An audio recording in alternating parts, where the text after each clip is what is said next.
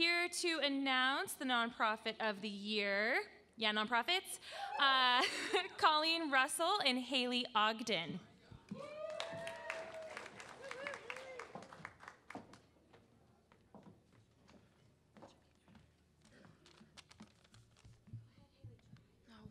Give it a try. No. Hello. We love you, Haley. Give it a try, Haley. One word. No. Okay, so Haley wrote a beautiful speech, and I'm going to read it for her. Okay. I'm going to see if she'll chime in at the end, though. Ready? Yeah, try. Give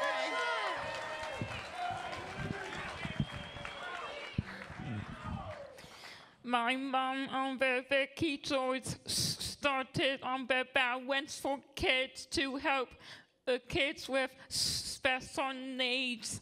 My mom yelled helping kids and she would have been so happy to receive this award. So sadly on the, the Vicky Joyce on her passed away on no November the, the 9th, but she will always be in my heart and be the heart of balance for kids.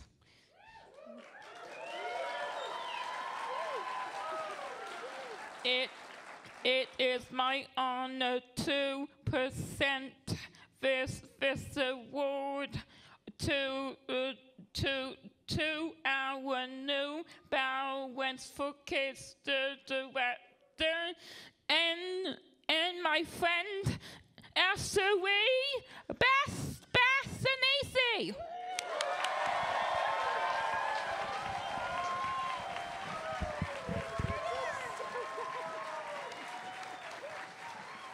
Thank you, Love you. I am so proud of you. That was amazing. Okay, so it's an absolute honor to accept this award on behalf of Balance for Kids. Uh, these lovely ladies right here, up here with me, are Colleen Russell, and she's been with the. Oh, oh, okay, hold on. Can I leave it here? All right, hold on. Let me just settle this. Here we go. Hold my phone. Okay. So help me read this. Okay. So Colleen here has been with Balance for Kids um, with us for about 15 years. And Regina has been with us for over nine years. So when we speak of balance as a family, we really are. Um, and it's really their hard work and dedication that keep this company going. I would not be up here without them.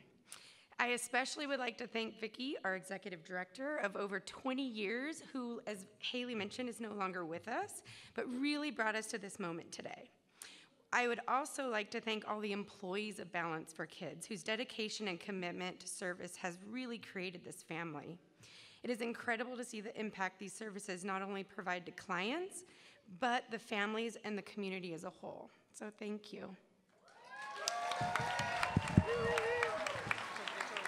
Speech.